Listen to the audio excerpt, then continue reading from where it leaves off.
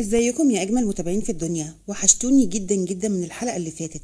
وقفنا المرة اللي فاتت لما رامز دخل على الشخص المجهول. اللي ما قلناش هو مين. وقال له أيوه زي ما بقولك كده. ال social media كلها أخبار عنهم. بقى أنت عايز تقولي إن حماية العزيز رجع وبقوة؟ طب هو جاب الفلوس دي منين؟ هو راجع وبقوة بس؟ ده أنا سمعت إن هم هيغيروا نشاطهم خالص. وهيشتغلوا في الاستيراد والتصدير. وعمرو ابنه هيشتغل في العقارات وداخل بقى شراكات في كومباوندات كبيرة وحاجات كده من الآخر والله شكلهم لما راحوا الصعيد لقيوا مقبرة ملك ولا حاكم فرعوني وهي اللي نقلتهم النقلة دي.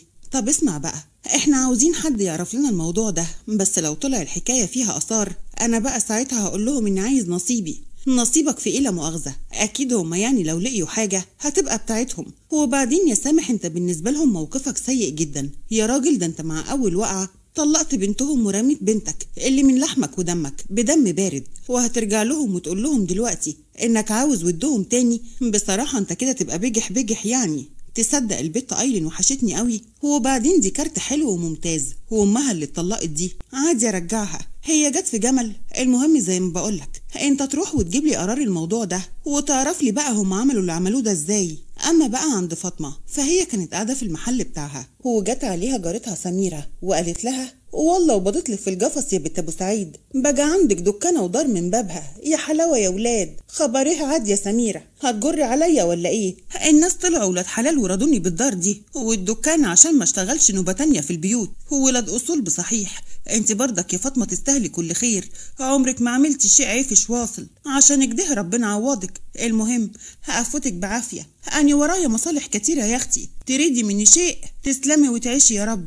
أما بقى في البيت عند سيلة. فكان صلاح بيقول لريهام لو رايدة يا بنتي تقعدي ويا أبوك اليومين دول قبل ما نعودوا مفيش مانع. والله يا عم أنا كنت رايدة أعمل كده بس محرجة. وتتحرجي ليه يا حبيبتي؟ كده كده جوزك مش موجود هو بيظبط كل حاجة في مصر وإحنا قدامنا يومين بالظبط ونرجع. روحي واقعدي هناك مع باباكي واختك علشان يعني تشبعي منهم ويشبعوا منك. أيوه يا ريهام علشان يعني ما يقولوش إن إحنا خدناكي منهم. حاضر يا حبيبتي. وعند إسماعيل كان قاعد وبيتغدى هو ونعمة. ساعتها قالت له بابتسامة أنا حامل يا إسماعيل هتتحدثي جد؟ وعرفتي كيف؟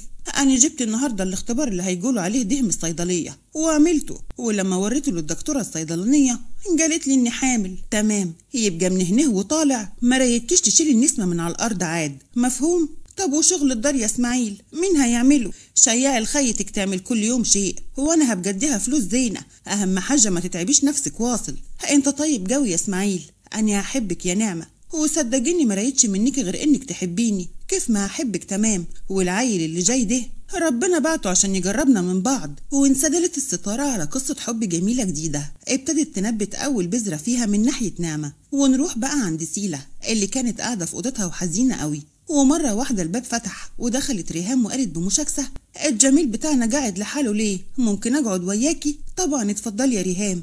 دخلت فعلا ريهام وقعدت وساعتها قالت بدون مقدمات بيحبك وهيعشقك عشق ومحدش هيحبك كد واصل. وأنا مش بحبه بس ده هو كل حاجة في حياتي. وحشني حضنه قوي يا ريهام ووحشتني ريحته وكل حاجة فيه.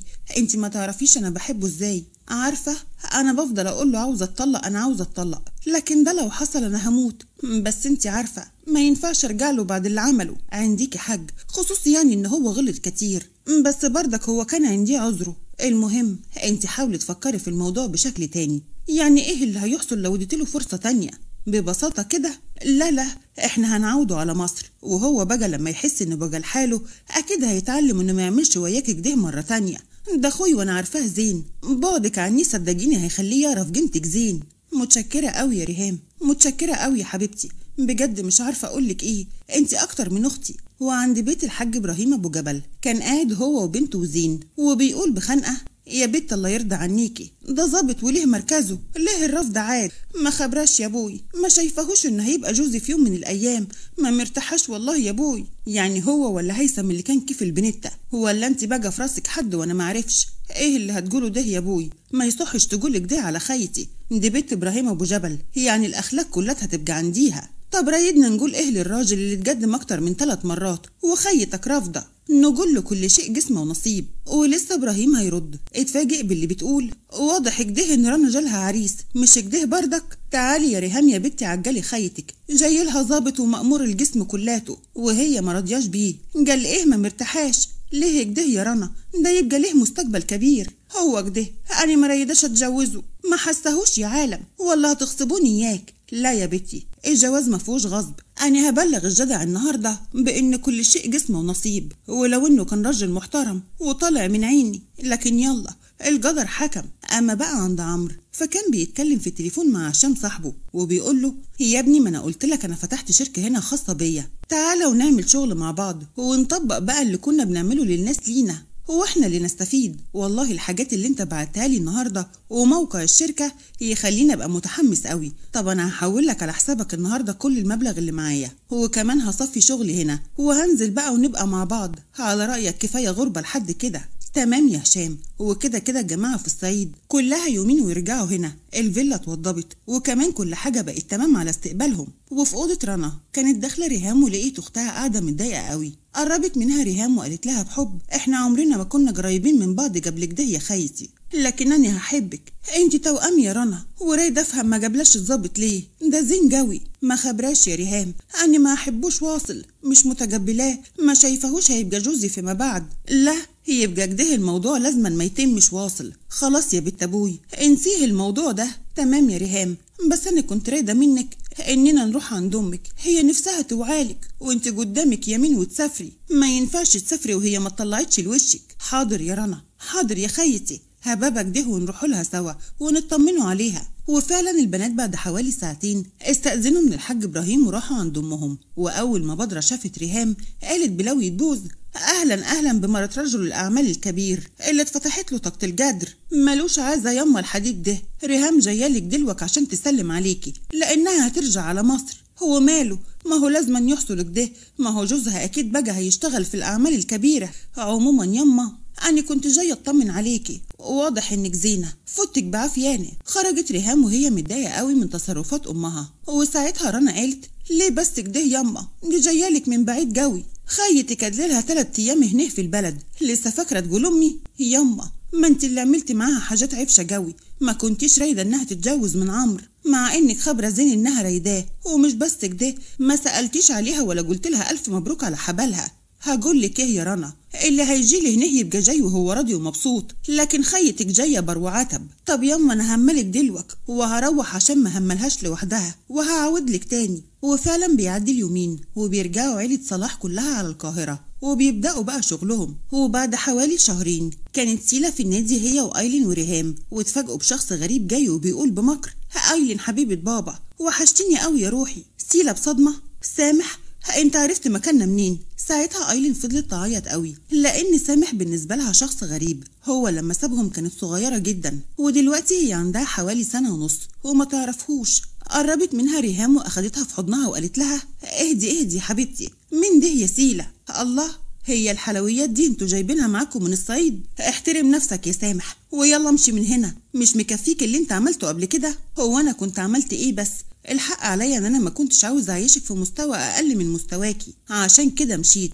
بس رجعت أهو. هو بمديلك إيدي وبقولك يلا نرجع لبعض. وبنتنا تتربى في وسطنا. اتخبلت إياك. ترجع لمين؟ هو أنت فاكرها سايبة ولا إيه؟ هو ولا فاكر سيلا هتفضل مستنظرك لحد دلوقت. مفيش داعي للكلام ده يا ريهام. هو اذا كان على بنتك يا سامح فأنت مالكش عيال عندي. وأكتر حاجة هتساعدني في كده إن البنت ما تعرفكش أصلا. أنا مش فاهم حاجة. وإيه انت مش مستنياني لحد دلوقتي؟ أنا عاوز أفهم بقى كل حاجة. يستحسن إنك ما تفهمش أي حاجة. خليك كده. يلا يا ريهام. هو انت يا أيلين خلونا نرجع على البيت. ماشي يا سيلا. بس إحنا لينا كلام تاني يا حبيبتي. خصوصا يعني إن أنت عارفة إني ما بحبش موضوع النقاب ده ومع ذلك برضو لبستيه. حبك بورس.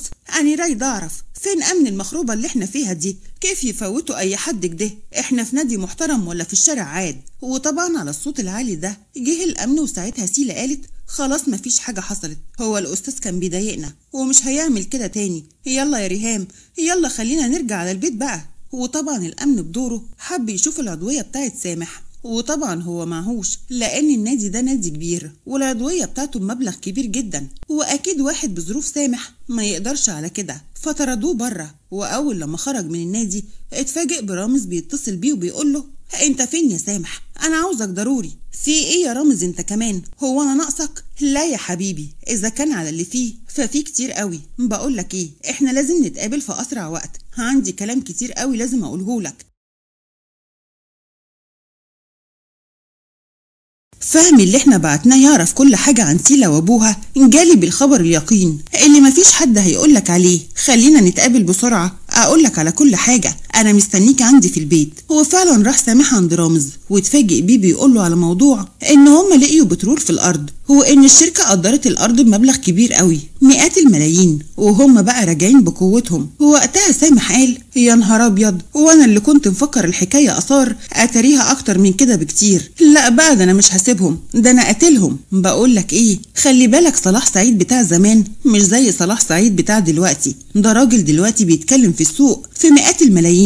خلي بالك وانت بتتعامل معاه. وفي مطار القاهرة. كان واقف عمرو وهو منتظر هشام صاحبه وأول لما وصل رحب بيه عمرو قوي وأخده على البيت. وفي الوقت ده عند ريهام كانت وصلت رنا هي كمان لأن زين كان من وقت للتاني بيعمل أي حاجة عشان يجي يشوف ريهام. وفي الوقت ده كان جاي علشان يشوف سيلا قصدي يشوف ريهام. دخلوا وقعدوا كلهم على السفرة وساعتها هشام ما شالش عينيه من على رنا. ووقتها أمل قالت له بمشاكسة من إمتى يا عم هشام وأنت بتحب الستيك؟ في حاجة يا طنط ولا إيه؟ أنا مش بحب الستيك خالص. أصلك ما شلتش عينيك من على الستيك ابدا مع إنك سبحان الله ما بتحبوش. ما بحبوش إزاي بس؟ هو القمر ده ما يتحبش. وقتها رنا فضلت تكح قوي واستأذنت ودخلت من كتر الإحراج. وقتها زين قال بحدة هتقول إيه أنت؟ هو إيه اللي كيف الجمر الستيك يا أستاذ زين الستيك أمال هي الأنسة رنا قامت ليه من على الأكل؟ خليك في حالك يا جدع أنت. مالك أنت بأختي؟ وقتها كان قاعد جنب هشام أمل وقالت له بصوت واطي يا ابني أنت فضيحة أخوها قاعد قدامك وأنت عمال تبص على أخته دول صعايدة. هي عاجباك البيت يا واد؟ قوي قوي يا طنط. بقولك إيه هي مش دي برضه اخت مرات عمرو؟ طب ما تشوفي لي الموضوع ده يا أمولة مع إني يعني ما بحبش أخوها ده. لكن حاضر. إن كان لك عند زين حاجة أنا هخلي عمرو يتكلم معاه. ولا أقول لك على حاجة؟ ما تتكلم أنت معاه على طول. وتجيبها له سكة ودغري كده. أما في المطبخ فكانت واقفة رنا وهي مش على بعضها خالص. قربت منها سيلا وقالت لها إيه يا رنا؟ في إيه يا حبيبتي؟ اوعي تكوني اتضايقتي من هشام. هو أصله بيحب يهزر. لا ما اتضايقتش طب أنا هروح على الأوضة لأني ما ينفعش أقعد ويا رجاله براحتك يا حبيبتي البيت بيتك. وفضلت سيلا واقفة في المطبخ لكن اتفاجئت باللي جاي وراها وبيقول لها بحب اتوحشت الجو يا حبيبتي. أنت دخلت هنا إزاي؟ بقول لك اتوحشتك. عموما ما حدش واخد باله مني عاد. ما أنش الأوان بقى يا حبة القلب. أوان إيه بس يا زين؟ وقتها زين قرب منها قوي وأخدها في حضنه وقال لها بهمس مهلك أوان إننا نكون مع بعض. أوان إنك تبقي ويايا أوان إننا ما نفرجوش بعض واصل. أنا هعشاجك هو لو في حاجة أكتر من العشق أنا هحسها وياكي. وأنا كمان بحبك أوي يا زين. معرفش أحب حد غيرك. أنت روحي يا زين اللي راحت مني في بعدك عني. وقتها زين شدد أوي من ضمه ليها. لكن فجأة دخل عليهم هدم اللذات. قصدي عمرو. هو قال وهو بيحط إيده على قلبه بطريقة كوميدية. قلبي يا نهار أبيض. إيه ده؟ أختي وأخو مراتي في المطبخ؟ طب اختشوا على دمكم. الحلل كلهم لسه ما دخلوش دنيا.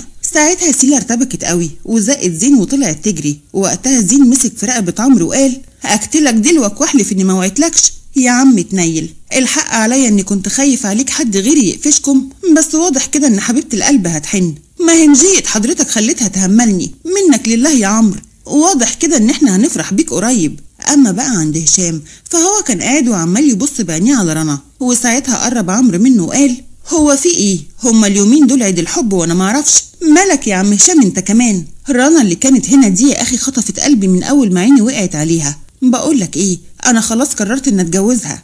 آه ما أنا واخد بالي بس اسمع لما اقولك دول ناس صعايده يعني ما عندهمش الحاجات الغريبة اللي أنت تعرفها. يعني ما فيش حاجة اسمها إنك تخرج معاها قبل كتب الكتاب. ولا انك يعني تاخد راحتك معاها ولا الكلام ده؟ يا عم انت فاكرني تلميذ.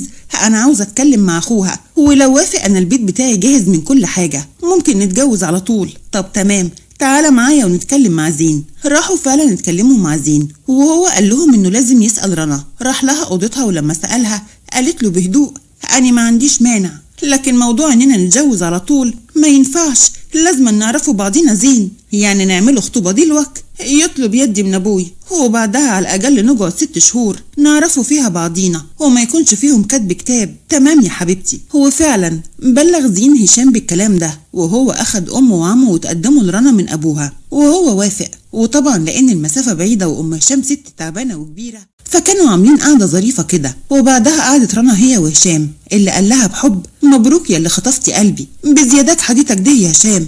قولي أنا رايدة أسألك سؤال. أنت ليه ما اتجوزتش لحد دلوك مع إن ظروفك زينة جوي أنا كنت متجوز فعلا بس بعد كتب الكتاب على طول بحوالي أسبوعين منا اللي كانت مراتي عملت حادثة كبيرة قوي وماتت فيها وما كناش لسه اتجوزنا. هو ده اللي خلاني استنى شوية لحد ما أفكر في موضوع الارتباط تاني. بس أول ما شفتك نسيت كل حاجة وتهت في عيونك يا قمر. علشان كده عايزه أنا كمان أطلب منك طلب. يا ريت نعجل بكتب الكتاب. أنا نفسي أخدك في حضني. وابقى براحتي معاكي. لو فضلت تقولي حديثك ده أنا ما هقعدش وياك تاني واصل. قلت لك ست شهور. حاضر حاضر. ما هو من طلب العلا سهر الليالي. وطلب رنا واستحمل كل حاجة. وفضلوا قاعدين مع بعض شوية. وطبعا كانت رنا طول الوقت خجلانة قوي. وبعد لما أخدوا قعدتهم رجعوا على القاهرة تاني. وفضلت رنا هي وزين وأبوها في البيت. لكن على حوالي الساعة 11 بالليل اتفاجئوا ببدرة داخلة وهي عمالة تزعق وتقول كيف يعني بنتي تتشبك وأنا معرفش عاد؟ هو كمان حد تبع عمرو جوز أختها؟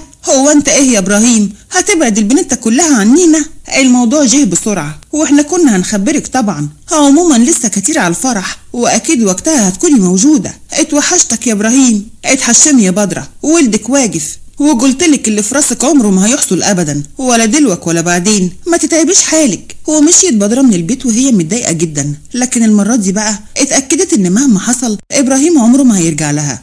أما بقى عند سامح فهو قرر يعرف بيت سيلا فين. وفعلا عرف مكان الفيلا الكبيرة بتاعتهم. وطبعا دي فيلا في compound. يعني ما ينفعش أي حد غريب يدخل ال compound ده. فضل واقف عند الأمن لحد ما بلغوا سيلا إن في واحد اسمه سامح عاوزها. خرجت له سيلا وكان معاها عمرو أخوها. وأول لما شاف سامح اتكلم بغضب وقال عاوز إيه يا سامح؟ جاي ليه؟ جرى إيه يا عمرو؟ هي دي مقابلة برضو بعد المدة الطويلة دي. وبعدين هو أنا مش ليا عندكم بنت عاوز أشوفها. بقول لك إيه يا سامح؟ ما تجيب كده من الآخر وتقول لي أنت عاوز إيه؟ أصل موضوع بنتك وإن أنت عاوز تشوفها دي مش داخلة دماغي. تمام أنا عاوز أرجع لسيلا يا عمرو. ونرجع كمان نشتغل تاني مع بعض. انت عارف ان أنا عقلية كبيرة واكيد هفيدكم في شغلكم الجديد. اولا موضوع إن انت ترجع لسيلا فسيلا متجوزة على فكرة ومتجوزة رجل أعمال كبير قوي. أما موضوع عقليتك فاحنا مش هنشتغل في الاستيراد والتصدير تاني. إحنا كل شغلنا بقى في العقارات. يعني انت مالكش لازمة. ونصيحة مني مالكش دعوة بأختي تاني أحسن لك وأسلم لك. آه. طب مبروك يا سيلة مش تقوليلي أنا أفرح لك برضو. لكن دلوقتي في حاجة مهمة. أنا ليا بنت عندك. وبصراحة بقى أنا عاوز بنتي. أنا ما اتجوزتش وأنت اتجوزتي. فبنتي من حقي. أنت اتجننت؟ أنت جاي بعد سنة ونص وتقول بنتي مالكش حاجة عندي. وأخبط راسك في الحيطة. لا. أنا مش هخبط راسي في الحيطة. أنا هرفع عليك قضية وهطلب بضم البنت. إلا إذا إلا إذا إيه؟ بصراحة بقى إن الدنيا جاية عليا على الآخر. وأشفره ومحتاج كام مليون جنيه كده. أبدأ بيهم شغل. فأنا عايز منكم 30 مليون جنيه. أنت اتجننت؟ وتاخد مننا المبلغ ده ليه بقى إن شاء الله؟ والله اللي عرفته من السوق إن أنتم بقى معاكم فلوس كتير قوي قوي قوي كمان أنا مستعد آخد المبلغ ده وأمضيلكم على ورقة إني ماليش بنات عندكم كمان. بقول لك إيه؟ أنت تمشي من هنا ومش هديلك ولا مليم. هو مش هتاخد البنت كمان. اهدي يا سيله وأنت يا سامح سيبنا نفكر في الموضوع ونرد عليه وماله؟ أنا مستني قراركم. ورجعوا على الفيلا تاني سيلا وعمرو وكانت سيلا حزينة جدا. هي مش متصورة إن حد ممكن ياخد بنتها منها. وطبعا حكوا الكلام ده قدام ريهام. وساعتها ريهام قالت أنا ما خبرش أنت كيف كنت متجوزة شخص بالطريقة دي. ده نصيب يا ريهام. عموما إحنا لازم نتصرف. جوزك لازم يعرف يا سيلا. وهو أكتر واحد هيعرف يتصرف في الموضوع ده. لا لا لا بلاش زين يعرف حاجة زي كده. على فكرة يا سيلا ريهام بتتكلم صح. زين أكتر واحد هيعرف يتعامل مع سامح. أنا مش هسيبك بس أنا برضو من رأيي إن إحنا نشتغل تيم واحد. وفعلا اتصلت سيلا بزين وحكت له على كل حاجة. وهو كان في خلال خمس ساعات كان جاي لها على القاهرة واتفقوا على خطة كده يعملوها. اتصلوا بسامح وقالوا له إن هم عاوزين يقابلوه بره. هو فعلا راح له زين علشان يقابله وكان واخد له شنطة فيها حوالي خمسة مليون جنيه. قابله زين وأول لما سامح شافه قال له باستغراب أنت مين بقى إن شاء الله؟ بقول لك إيه مفيش داعي للحديث الكتير اني جو سيلة. ورايدين القصة دي تنتهي. انت هتمضي في الأول إنك ملكش حج في المطالبة بحضانة أيلين. ولا دلوك ولا بعدين. مقابل 10 مليون جنيه. قلت إيه؟ أيوه بس أنا كنت طالب 30 مليون. ها 10 إيه؟ طب نقسم البلد نصين. أنا ما هفاصلش وياك يا جدع أنت. أنا ما فاضيش ليك. امضي على الورقة والشنطة دي فيها 5 مليون جنيه. ولما نوثق الورقة تاخد بقية المبلغ وإلا بقى ما تاخدش شيء واصل. لا لا لا وعلى إيه؟ هات الورقة أمضيها وهات الخمسة مليون جنيه. أنا واثق فيكم. هو فعلا أخد زين الورقة منه واللي كان فيها تنازل كامل عن حضانة أيلين. واداله الخمسة مليون جنيه. هو أول لما سامح روح على البيت اتفاجئ بالبوليس عنده في البيت وبياخده على الاسم. وقتها سامح قلب حزن. والله العظيم الفلوس دي بتاعتي. أنا أخدتها من طليقتي عشان أتنازل عن حضانة البنت. ما هم جماعة مبسوطين قوي. ساعتها كانت سيلا موجودة وقالت أنا ما اديتلوش حاجة يا حضرة الظابط ما هي ما ادتنيش حاجة. دي بعتت لي جوزها بقول لك إيه بطل لف ودوران. أنت طبعا عارف العدد بتاع الفلوس اللي في الشنطة لأنك عديتهم. لكن الشنطة كان فيها إسورة ألماظ تمنها لوحده أكتر من المبلغ اللي في الشنطة. يعني دي سرقة والمحضر هيمشي. سرقة إيه؟ أنا ما سرقتش فلوس وأنا ما أعرفش حاجة عن الأسورة دي. أنت متقدم فيك بلاغ من زين إبراهيم أبو جبل. بإنك سرقت الشنطة دي منه. الشنطة دي بتاعته فيها فلوس والأسورة الألماس دي بتاعته هي كمان. وهو بلغ عنك وعن الشنطة وإحنا جبناك. يا ولاد ال يلا يلا خدوها الحبس. واخدوا سامح على الحبس ورجعوا الفلوس لزين ودي كانت الخطة اللي هم متفقين عليها عشان يدي سامح درس عمره ما ينساه. بتمر الأيام وبيعدي حوالي 3 شهور وسامح كل فترة يتجدد له الحبس. لحد ما راح له زين في يوم وقال له عجبك كده قعدتك هنا في السجن. أنتوا خدعتوني غشتوني اديتوني الفلوس وبلغتوا عني. هي دي برضو أصول ولاد الصعيد. ولا دي أصول الرجالة. مفيش راجل يسوم مرة على بنتها. المهم أنا مستعدة أطلعك من هنا لكن بشرط واحد. مالكش صالح ولا بسيلة ولا بايلن يا سلام. هو أنا استفدت إيه بقى إن شاء الله؟ دي بنتي يا عالم وأنا عاوزها. برضك هتطمع يا ولد الفرطوس. تمام. أنا هسيب لك مبلغ زين جوي تقدر تبدأ بيه مشروع صغير. لكن لو لمحت خلجتك في أي مطرح أنا ولا مرتي مش هيحصل لك زين واصل. تمام. ما أنت أصل خلاص فلوسكم قوتكم أنا ما عنديش أي خيارات تانية. وفعلا اتنازل زين عن المحضر كله وخرج سامح وساعتها زين اداله مبلغ حوالي مليون ونص وهو قرر إنه لازم يبعد عن العيلة دي خالص. ولما سيلا عرفت كده قالت لزين بحب متشكرة متشكرة قوي يا زين أنا مش عارفة أشكرك إزاي نرجعوا لبعض ونعمل فرحنا مع رنا وهشام. قلت إيه؟ قلت موافقة. وفعلا بعد حوالي شهر كمان كان متجهز لفرح كبير قوي في أحسن مكان في الصعيد وهو فرح زين بيه إبراهيم أبو جبل على سيلة وكمان هشام على رنا. وساعة الرقصة كان هشام مقرب قوي من رنا وبيقول لها يعني كان لازم نقعد كل ده علشان نبقى مع بعض؟ ما كنا كتبنا الكتاب من شهر ولا حاجة. أنا بحبك قوي يا رنا. اتحشم يا ولد البندر. لا لا لا مفيش اتحشم دي خالص. أنا قتيلك النهاردة. أما بقى عند زين فهو ما كانش بيعمل حاجة غير إن هو بيبص لسيلة وبس. ساعتها قالت له ما خلاص بقى يا زين الناس واخدة بالها ما يهمنيش من مخلوق واصل. أنا حاسس إن قلبي هيجف خلاص بقيتي في يدي. خلاص يا حبيبي بقيت في إيدك ومش هبعد عنك تاني خالص. ربنا يخليك ليا يا زين وما يحرمنيش منك ابدا يا أجمل حاجة حصلت لي في حياتي. وقتها زين ضمها قوي ليه واتجوزوه من اليوم ده عاشوا أحسن حياة كل واحد عمل حاجة وحشة اخد نصيبه فيها. واللي حب وما طلش ربنا رضى خاطره في الآخر. خلصت حكايتنا. اللي بجد أتمنى من كل قلبي إنها تكون عجبتكم. ونكون عرفنا منها يعني إيه الحب والخير والجمال. الحب اللي بيه كل حاجة بتبقى جميلة. هو الخير اللي بسببه بنعيش في سلام. هو الجمال اللي بيحلي كل حاجة في عينينا. لازم يا جماعة نحب بعض ونشوف الجمال في عيون بعض ونتمنى الخير لينا وللناس. لأن هو ده اللي هيخلينا نعيش إنسانيتنا زي ما ربنا أمرنا بيها ويحب يشوفنا عليها. أشوفكم في حكاية جديدة. دمتم في أمان الله.